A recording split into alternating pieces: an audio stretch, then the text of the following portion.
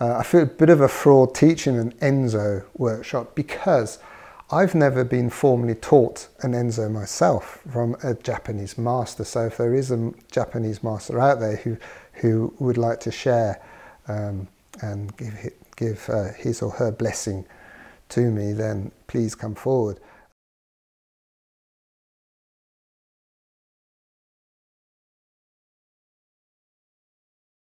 Teaching a course on how to create an Ensō, it's not really about an Ensō.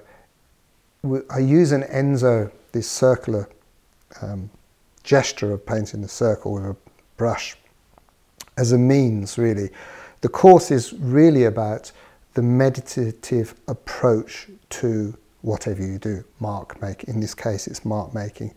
Now, not everybody who turns up to my um, courses have the time to learn a whole written language.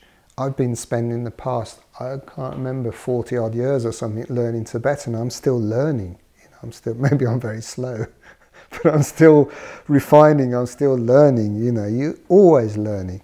Not many people have that time to come to it to express um, their freedom through you know, a lineage uh, and, and, a tradition such as, as writing Tibetan. So an ensō is a really good, good way to express this because it's just, it, well I say, it's just making a circle. You know, they say the, the imperfection is the, the perfection of, of whatever you do with it. So the main point of these sort of courses, and they are very popular, anyone can do it, or anyone can think they can do it, but really it's about the meditative approach. It's about clearing the mind. It's learning how to meditate. It's learning how to um, to to see the, the white paper. You know, to in the in the moment, just as you're about to strike the brush to the paper. That is the the pith of, of the the um, the exercise. It's that moment. It's that moment there where you go go in there.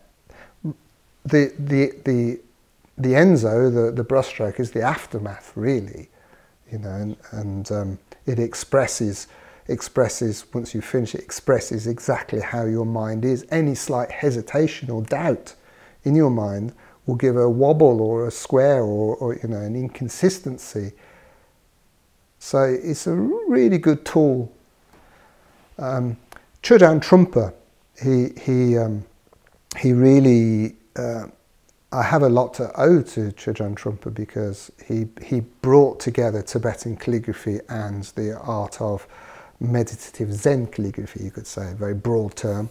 Um, but he really brought Tibetan calligraphy into the 21st century and it's still practiced today by you know, his, his subsequent schools that have carried on in America and such, you know, to, to, to write this ashe, this one, one particular stroke um, mindfully and as a practice itself. And that really interests me.